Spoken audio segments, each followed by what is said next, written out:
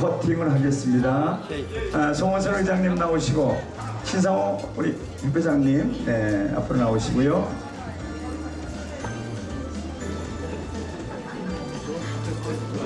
더 모시 더 모실 거. 고모님들 다 나오세요. 고모님들 고모님 다 나오시고요.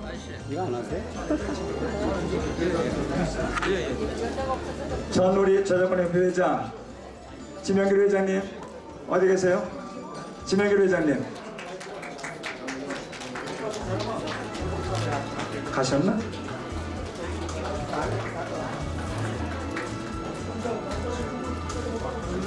또 박동원 고문님 가셨나? 그럼 우리 저 위원장님 나오세요. 박순태 위원장님, 김무영 위원장님, 네, 나오세요. 저 배재 위원장님,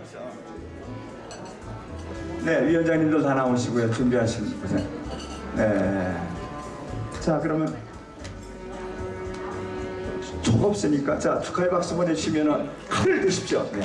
자 오늘 축하를 케이크 커팅으로 마무리하겠습니다. 제7회 가요 작가의 날 축하 네 케이크 커팅 박수.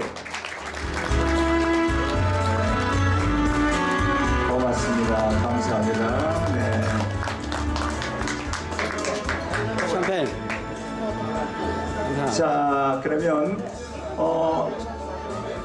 아 건배제일 한번 해야죠 건배 건배제일 네.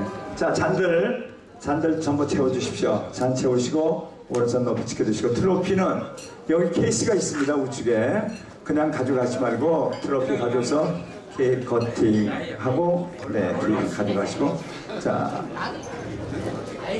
건배제는 회장 송원선 그래 신사회장 굵은 목소리로 자 우리 한국 가요와 가요인의 발전과 가요인의 복지와 행복을 위하여! 위하여!